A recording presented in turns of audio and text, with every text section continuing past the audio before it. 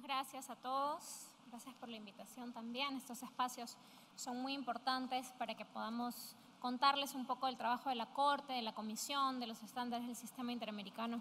Así que espero poder impartir un poco de conocimiento a la gente que le interese esta temática de personas privadas de libertad, que es una temática compleja porque es un grupo vulnerable que en realidad, digamos, a los estados no, no tienen muy enfocado el tema de las personas privadas de libertad dentro de sus prioridades y la sociedad, las sociedades en general tampoco.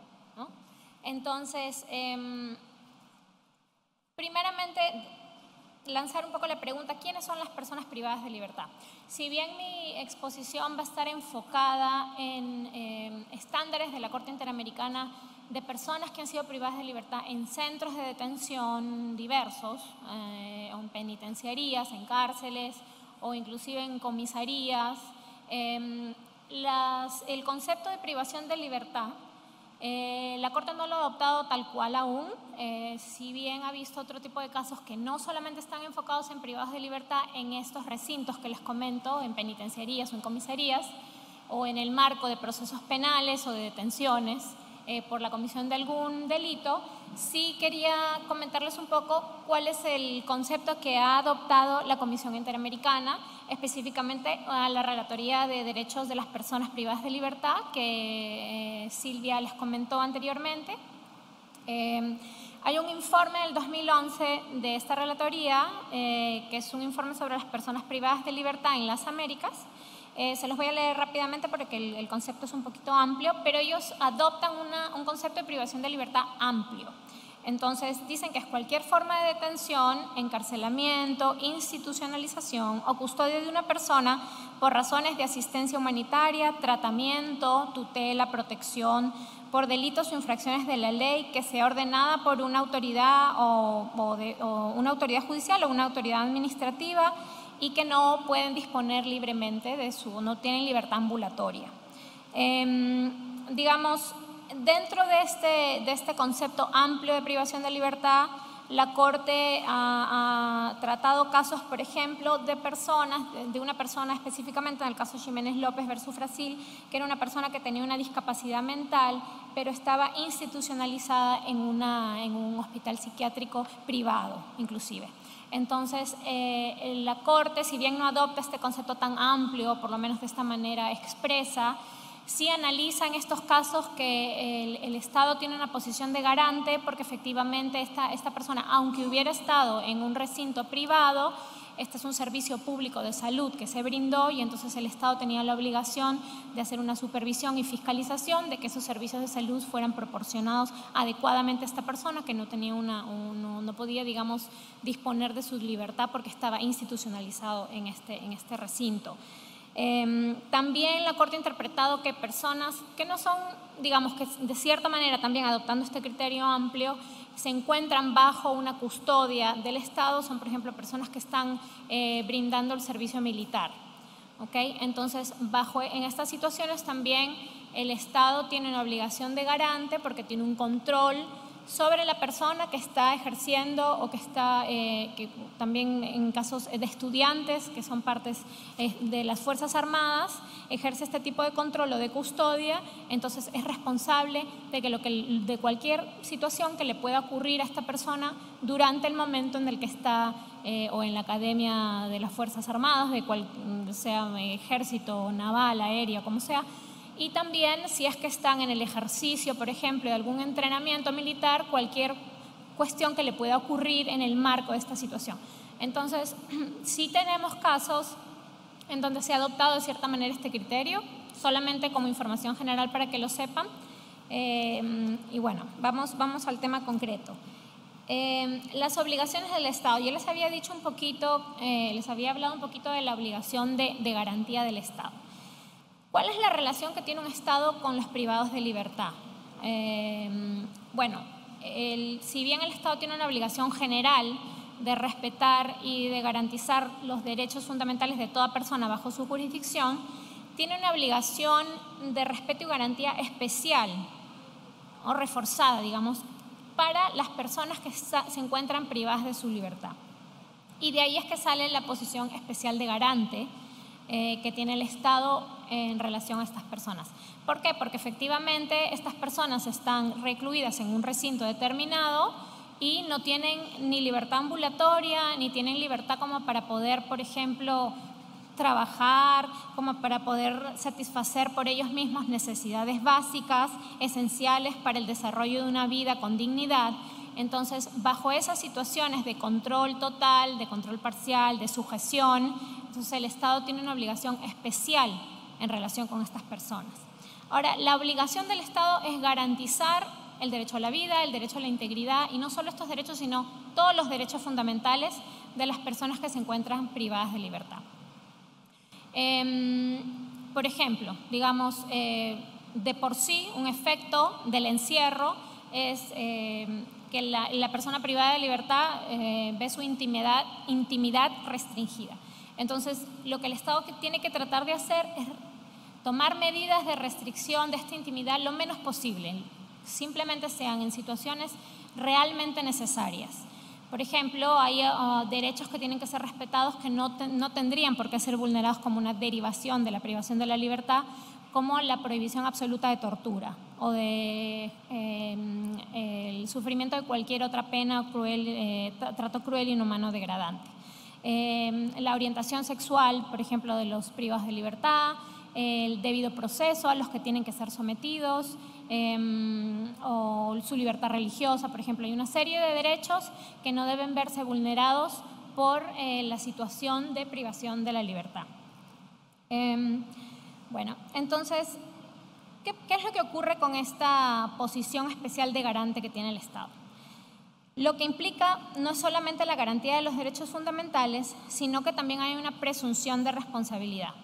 Esto implica que, por ejemplo, si un privado de libertad eh, es efectivamente detenido e ingresa a un recinto de detención, comisaría, llámese comisaría o centro penitenciario, y tiene una determinada situación de salud que ha sido reportada, digamos, en algún tipo de registro, de identificación y de registro al momento de la detención.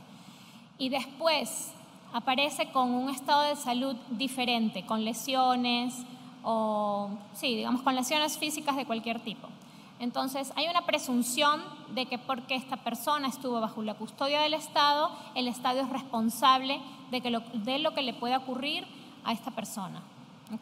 Entonces, lo que el Estado tiene que hacer en esos supuestos de presunción es efectivamente brindar una explicación razonable y satisfactoria de qué es lo que habría ocurrido para desvirtuar esa presunción de responsabilidad. Lo mismo ocurre si la persona evidentemente muere a manos del Estado.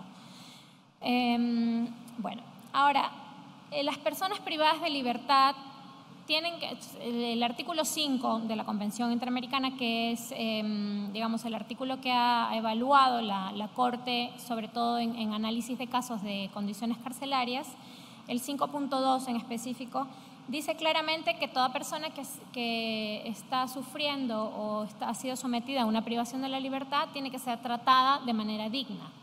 La dignidad del ser humano no se desvanece por su situación de privación de la libertad.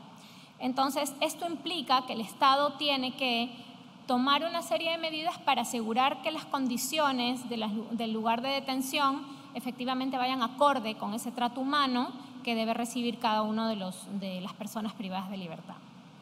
Entonces, em, Voy a mencionar rápidamente, eh, tenemos muchísimos casos en la jurisprudencia de la Corte Interamericana que hablan sobre eh, privados de libertad y condiciones carcelarias. Muchos de los estándares están disgregados en, la jurisprudencia, entonces voy a tratar de, hablar rápidamente de algunos de los temas que se han tocado en, diversos casos. Por ejemplo, está el caso del eh, Instituto de Reeducación del Menor. Em, aquí, bueno, un recinto donde em, menores de edad eran llevados por la comisión de la alegada comisión de algunos delitos, pero estas instalaciones tenían una estructura que no estaba realmente diseñada para ser un centro de detención. Entonces, la estructura era totalmente inadecuada, no contaban con medidas de seguridad absolutamente para ningún evento. Por ejemplo, hubieron como tres incendios. No tenían medidas de evacuación, no tenían extinguidores, no tenían alarmas, no tenían detectores de humo, no tenían absolutamente nada. Entonces, en los tres incendios que hubo no tenían ni protocolo de atención, ni de prevención, ni de atención, ni de evacuación, ni absolutamente nada. Eh, entonces, hay, varios de los, de los internos menores de edad que fallecen o que, bueno, reciben obviamente eh, lesiones o afectaciones a su integridad personal debido a los incendios. Em, igualmente, en otro, en otro caso, Pacheco Teruel versus Honduras, eh, del año 2012, si bien este, este, caso hace el intento un poco de recabar un poco de la, de la, de la jurisprudencia y de los estándares anteriores, eh, es, un, hecho similar. esta prisión específicamente en la celda 19, pero bueno, la, prisión en, su totalidad, era un centro de detención que estaba, uh, que sufría de hacinamiento. Ahora voy a hablar un poco de lo que es el hacinamiento no tenía iluminación, las celdas estaba, había muchísimas, muchísimos eh, privados de libertad en una sola celda, em, no tenían luz natural, no había agua potable, no tenían buenos sistemas de alimentación, pero sobre todo en el caso particular, eh, también la estructura del centro era paupérrima. Entonces lo que ocurre en este caso es que tenían un sistema eléctrico y de, radios y de televisiones sobrecargado. Eso genera un cortocircuito y un incendio, especialmente en el área cerca a esta celda 19. Y como efectivamente el, centro penitenciario no estaba preparado como para ni siquiera alertar al, personal penitenciario y obviamente también a, los reclusos em, del mismo que se estaba iniciando un incendio, los presos estaban recluidos en la celda y no supieron cómo actuar, ¿no? no tuvieron una reacción diligente ante el incendio. Entonces, lo que el personal penitenciario pensó hacer o creyó que era lo que tenía que hacer era llamar a los bomberos, no tenían ni, extintores y la gente se quedó recluida dentro de la celda y obviamente 107 presos murieron por asfixia o por quemaduras, ¿no? O sea, es una, una, una muerte muy dolorosa. Entonces, aquí la Corte, si bien hace un, una, una, sistematización de la jurisprudencia que se, que se tenía hasta el momento sobre condiciones carcelarias, hace mucho énfasis en la importancia de que un Estado tenga un plan de prevención para este tipo de emergencias, que tenga protocolos de actuación si es que este tipo de emergencias se dan. Y obviamente no puedes dejar a los privados de libertad recluidos dentro de, un, dentro de una celda. Estos privados de libertad además eran miembros de, de maras, eh, o por lo menos estaban muchos de ellos eh, siendo investigados por, por, mm, por ser miembros de una de estas organizaciones y entonces eh, no quisieron dejarlo salir porque dijeron, bueno, aquí se nos escapan todos. Y no supieron cómo lidiar con la situación y cómo este, afrontar esta situación. Entonces hay una vulneración del Estado em, a los derechos a la vida, a la integridad personal, porque tuvieron una total falta de prevención en el caso concreto. Entonces es un poco en relación a estructuras. Em, ahora, en diversa jurisprudencia, la Corte ha señalado que em, uno de los problemas principales que tienen las cárceles en Latinoamérica es el tema del hacinamiento y de la sobrepoblación. La sobrepoblación significa que si tú tienes, por ejemplo, un centro penitenciario con una capacidad para mil eh, privados de libertad y tú sobrepasas esa capacidad, se habla de sobrepoblación. Se habla de hacinamiento, que es una, una situación más crítica, cuando se sobrepasa el 120% de la capacidad que tiene un centro penitenciario.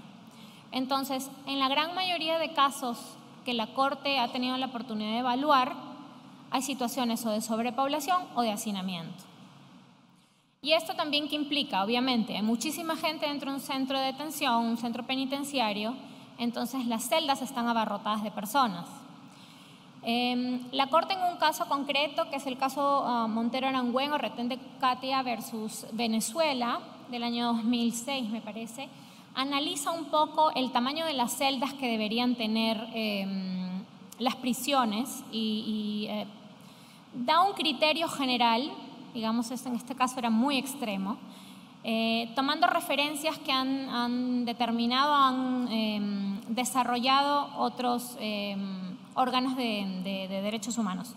Eh, por ejemplo, el Comité Europeo para la Prevención de la Tortura ha señalado que 7 metros cuadrados por celda es el, lo recomendable por privado de libertad. ¿ok? Ahora, la Corte no adopta, digamos, este criterio porque también tenemos que tener en cuenta de que em, la situación en Latinoamérica pues, eh, podría ser un poco distinta, eh, pero dice, bueno, tomemos otra referencia. El Tribunal Europeo ha dicho que dos metros cuadrados es inaceptable, que en sí misma es una, es un, es una vulneración a la, a la integridad, bueno, a la, prohibición de malos tratos, ¿no? que es el artículo 3 del, del, Convenio Europeo para ellos, el artículo 5 para nosotros. Em, y dice que un, dos metros cuadrados por persona es una vulneración en sí misma de un tratamiento con dignidad de los privados de libertad. Pero en este caso en concreto, cada privado de libertad vivía en 30 centímetros cuadrados, o sea, mucho menos de la mitad de un metro cuadrado. Entonces la Corte dice, esto es inaceptable y esto claramente significa ah, o, da a entender que existe una situación de hacinamiento y esto genera entonces la vulneración de la integridad personal de los privados de libertad. Obviamente, no es que los privados, o digamos, los privados de libertad en la situación en la que los, mínimos que, establece la Corte, por lo menos en sus, en sus sentencias, em, significa que el privado de libertad pueda tener un, espacio para cada individuo, ¿no? En situaciones efectivamente de, donde hay un hacinamiento, una sobrepoblación, o sin, sin que siquiera haya una sobrepoblación, pero se necesita tener los privados de libertad todos en un ambiente compartido, digamos, no se puede dejar de lado el espacio que se le tiene que dar a cada privado de libertad. los espacios donde están tienen que tener ventilación, tienen que tener luz natural, em, tienen que tener condiciones adecuadas de higiene, los servicios sanitarios obviamente tienen que tener algún tipo de división para que ellos puedan tener intimidad eh, al momento de que pues, em, tienen que ir a usar los servicios sanitarios.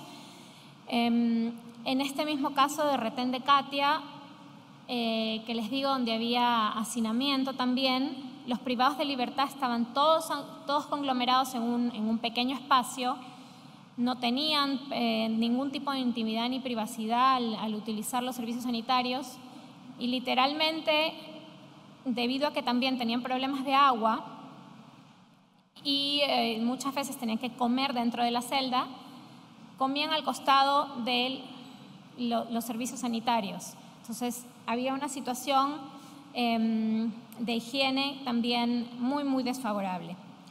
Em, bueno, también el tema de la, la Corte ha analizado casos donde recomienda, recomendado que los mínimos en cuestiones de alimentación, por ejemplo, agua potable, tienen que ser los siguientes. La alimentación tiene que ser de buena calidad y tiene que aportar un valor nutritivo suficiente.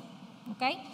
Ahora, hay distintos, em, distintas resoluciones, distintas reglas mínimas que ha brindado Naciones Unidas, inclusive unas también que ha, que ha eh, adoptado la Comisión Interamericana de Derechos Humanos, que van un poquito más allá y dicen que la alimentación tiene que ser brindada también siguiendo las cuestiones y necesidades culturales y religiosas de los privados de libertad. La Corte aún no ha tenido ningún caso ni se ha pronunciado al respecto, pero sí ha evaluado la situación concreta en el caso Chinchilla Sandoval, que era una mujer eh, con discapacidad eh, que estaba recluida en en un centro penitenciario y tenía una condena de 30 años. Esta mujer era diabética y ella sí necesitaba una dieta especial por su condición de salud que el Estado no se la brinda. Eh, ¿Cómo el tiempo?